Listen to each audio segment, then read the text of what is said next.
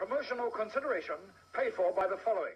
time once again for another quick shot review and this is the 2021 movie released in November known as Resident Evil Welcome to Raccoon City by director Johannes Roberts and is set in 1998 following the story of Resident Evil 1 and 2 intertwined um, so, is this movie good? It is a reboot of the Resident Evil series, and uh, well, it's something.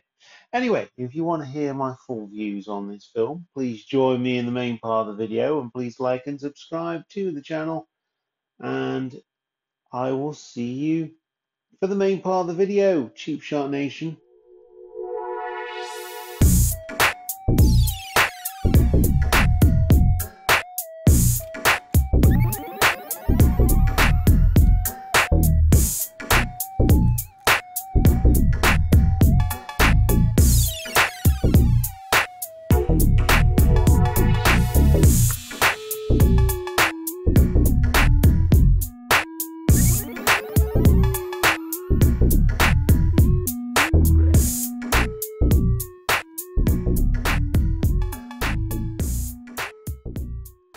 So, welcome to Raccoon City. What a mess of a film this actually is.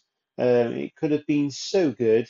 The original Resident Evil and Resident Evil 2 are such iconic, really awesome games with reboots, uh, remasters, uh, multiple platforms, and still beloved to this day.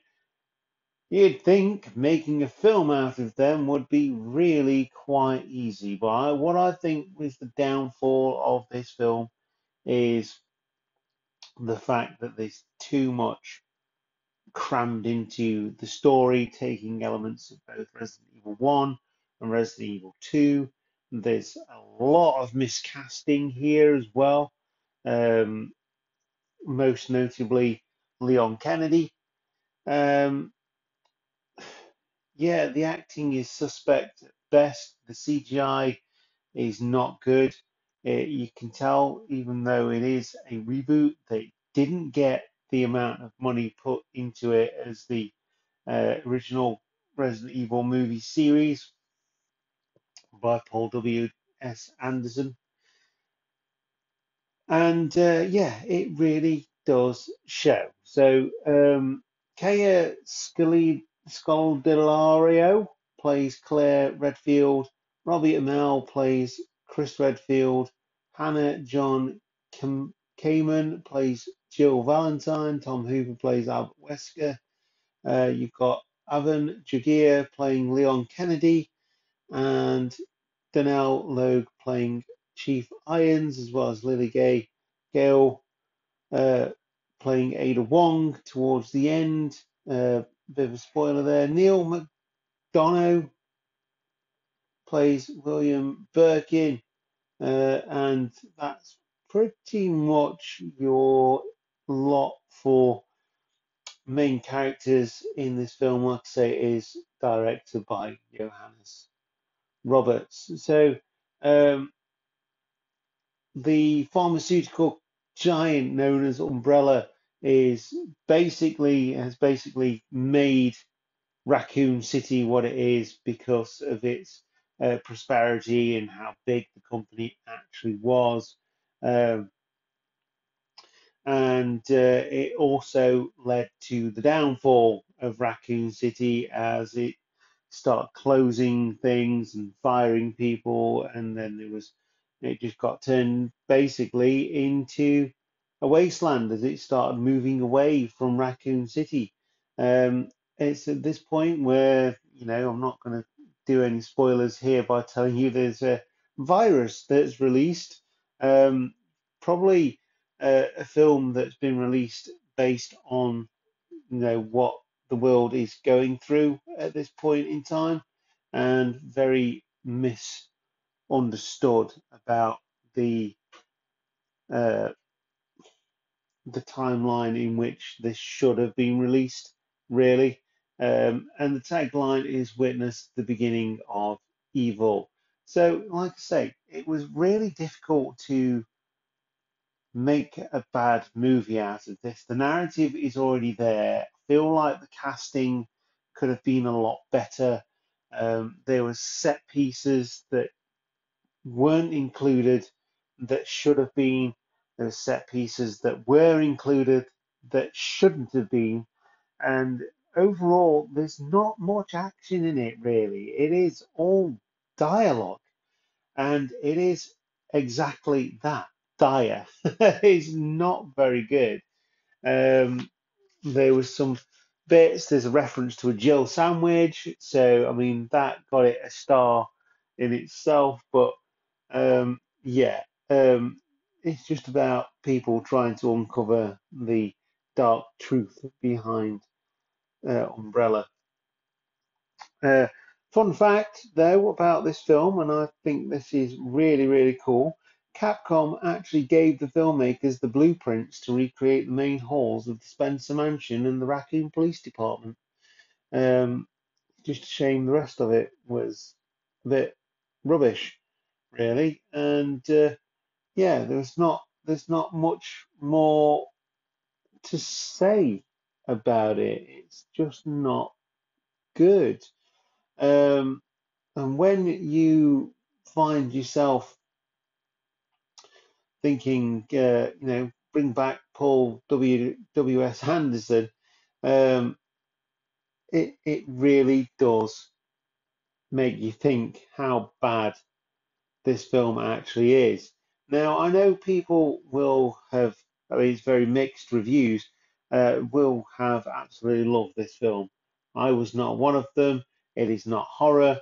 It is a game. It is a movie based literally on a video game and not done very well.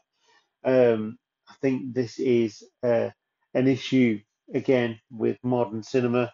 It, the same thing affected Uncharted, although that is actually a watchable movie. This is not.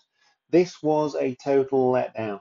It it just takes the material, throws it out of the window, brings some references to keep fans happy, and it just drags. It drags so much. At nearly two hours, it is just yeah. There's nothing from take to take it from one moment to the next.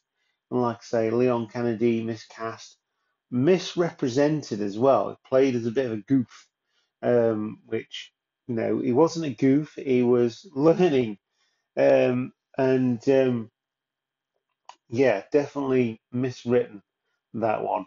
Uh, Claire Redfield is okay.